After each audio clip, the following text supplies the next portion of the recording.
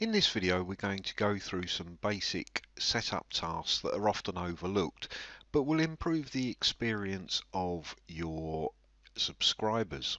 Go into setup and system settings and this will bring up uh, a number of different options for you.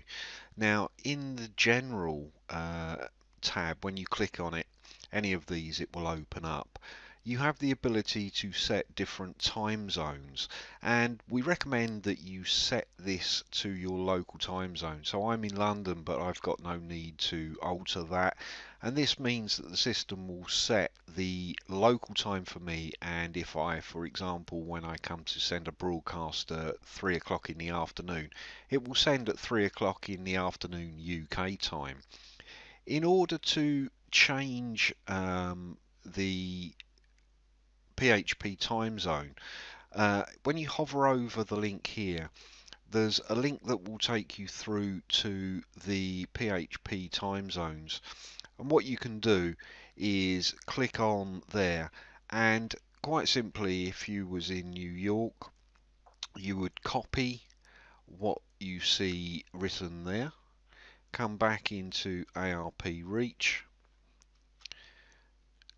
save the changes and test the time zone and provided uh, it's exactly uh, as it would be from that page then you'll get the OK there. The outgoing and email we're going to assume that you've set those up so that you can receive your email and send your email. Date formats just gives you different options to insert dates and the contact screens is a really useful function. When subscribers go to unsubscribe or click support or something like that they get the standard ARP reach screen and this gives you the option to um, have the plain or standard or to create a custom theme. We recommend just having plain for the time being. And with logo um, just set that to no logo. And what will happen is if your users click on a link to manage their subscriptions they'll come to a blank page. You can um, change that as you see. The integration tab is beyond the scope of this basic video but that uh, will cover in a separate video. Um, the opt-in confirmation this is where you set the system that uh, is going to send the emails.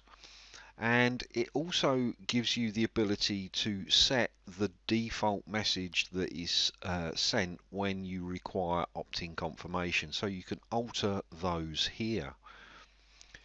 The custom pages uh, again we'll cover that in a separate video the content allows you to alter the different standard messages that you can insert with shortcode tags which we'll cover in another email. The affiliate tab when you click on the affiliate link by default all emails um, if you allow the affiliate message to be sent out will be powered by ARP Reach. And when you subscribe uh, and join as an affiliate by clicking this link you'd put your uh, ID number in here. And then if you wanted to earn commissions from readers of your email that click through you'd be credited for any sales the affiliate ads this allows you to create uh, some ads which can be inserted into the shortcodes and the scheduled tasks we recommend that you leave these as a default.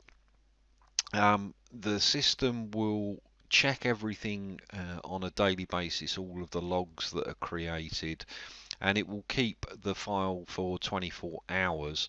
Uh, if you ever have an issue and you want to find out, or your webmaster wants to find out, include the debug info.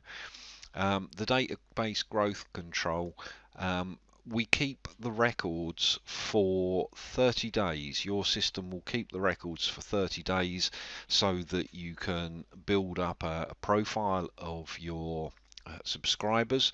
We don't recommend uh, you exceeding that uh, on shared systems, but you can if you want to. And we certainly don't recommend you purge the systems unless requested by uh, our support or your webmasters. That's it for this video. Thanks for watching.